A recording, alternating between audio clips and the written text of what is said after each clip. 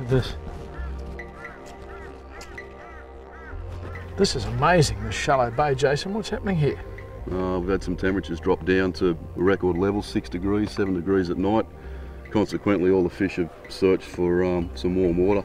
The core temperature of the dams dropped down to about 16 degrees. Right. So in these fringes here and amongst this weed, they're basically coming in here to, to warm up. Uh, some of them are in fairly bad condition, as you've probably seen.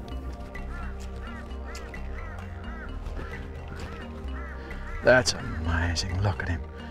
Do you want to rub some sunscreen on his back while you're there?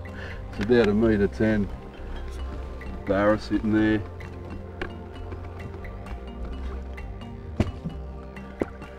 ha! I don't get close to them like that very often. That's extraordinary, mate. But they're so they're not really catchable when they're like that, no, are they? mate, they're here because they're in bad shape. Yeah, So um, they're just trying to warm up. it's like a hospital ward back More or less, yeah. We've just come in to have a bit of a look and yeah. they're not the sort of fish you're going to catch. It gives me an indication of the size of the fish in here, though. It's it's phenomenal.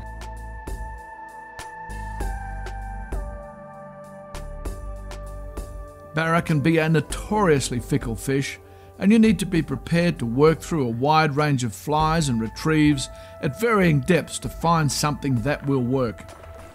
Look at that. Oh my goodness. Sometimes a particular combination will be effective on a series of fish.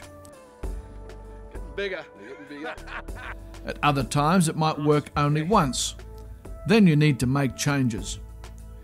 When you can see fish, either on the sounder or visually, but are getting no response, it's particularly important that you try various tactics. If it's not working, change it. Changing fly line density and the weight of the fly is as critically important as the pattern you're using. These allow variations in the retrieve. Keeping the fly close to the depth the fish are at is the name of the game here, especially when the water is cool. Later in the day, when the water is at its warmest, is often the peak bite period.